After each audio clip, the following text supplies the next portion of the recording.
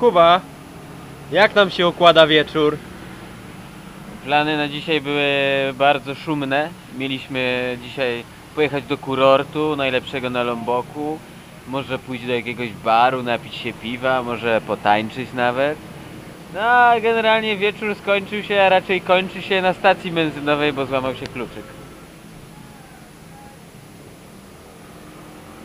Dziękuję, dobranoc. Się złamał sam. No ja go złamałem, przepraszam.